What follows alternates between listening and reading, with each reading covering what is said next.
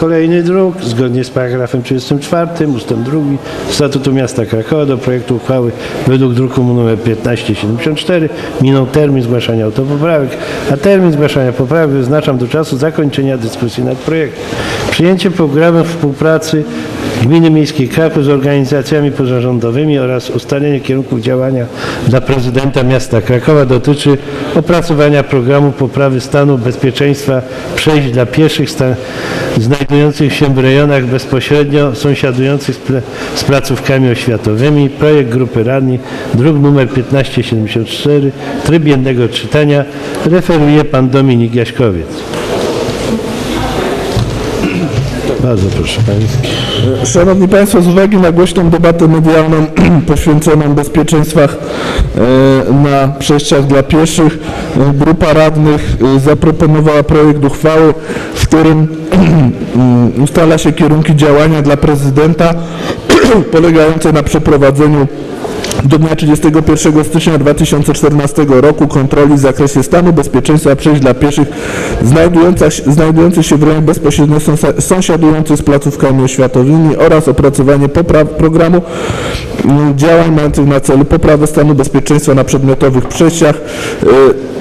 To jest odpowiedź na pewne zapotrzebowanie społeczne e, dotyczące lepszego zabezpieczenia e, drogi, e, drogi dzieci i, i młodzieży do szkół, placówek oświatowych, tak aby te niepokojące informacje, o których jesteśmy mm, mm, dość intensywnie informowani przez media w zakresie, e, e, w zakresie niebezpiecznych zdarzeń e, na tych przejściach, jak też pewnego rodzaju debaty medialne, oczekiwań rodziców, służyć naprzeciw oczekiwaniom, oczekiwaniom w tym zakresie środowisk szkolnych. Z uwagi na konieczność skorygowania projektu uchwały, ta, to, ta konieczność wynika z opinii prawnej. Chciałbym zgłosić wniosek o to, aby przedmiotowy projekt uchwały był procedowany w dwóch czytaniach. Dobrze.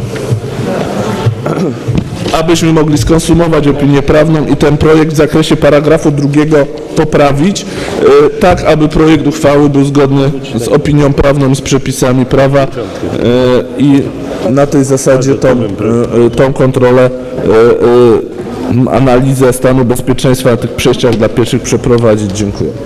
Dziękuję bardzo. Otwieram dyskusję. Czy ktoś z Państwa chciałby zabrać głos? Bardzo proszę, Pan Edward Poremczyk. 54. Przybijemy tutaj. Bardzo i tak, i tutaj, bo tu jest, bo tu jest poprawka. Szanowny Panie Przewodniczący, Wysoka Rado, yy, ja chylę czoła przed projektodawcami, przed grupą radnych tego projektu uchwały, ponieważ to jest no, bardzo ważna przede wszystkim dla dzieci i młodzieży przy placówkach oświatowych, ale pozwolę sobie za- zabrać głos, ponieważ no, dziękuję bardzo, że to jest yy, wniosek teraz złożony w dwóch czytaniach, ponieważ złożyłem poprawkę do tego druku Mm, i taki przykład mogę dać, że no wspaniale, że wyremontujemy krawężnik czy go obniżymy, natomiast parę metrów dalej będzie stan chodnika katastrofalny, gdzie będzie sobie można nogi połamać. Nie mówię, że rodzice podwożą dzieci przykładowo i, i są wy, wysadzane te dzieci, czasami niepełnosprawne, na różne dzieci ciemniejsze. I złożyłem taką poprawkę oczywiście dzisiaj rano. Yy, w, w temacie, w paragrafie 2.1 projektu uchwały dodaje się zapis remont chodników w rejonach placówek oświatowych ciągu pieszego przechodniów, co umożliwi bezpieczne przejście. Drodzy Państwo, oczywiście tu nie chodzi, żeby tam robić kilometr, dwa poza szkołą. To chodzi głównie o dojście do szkoły, najbliższe otoczenie placówki oświatowej. Bardzo bym prosił o przyjęcie tej poprawki. Dziękuję uprzejmie. Dziękuję bardzo. Czy ktoś z Państwa chciałby zabrać głos w tej sprawie? Nie widzę. Głosowanie odbędzie się w bloku głosowań, bo jest wniosek o rozpatrzenie projektu w trybie dwóch czytań.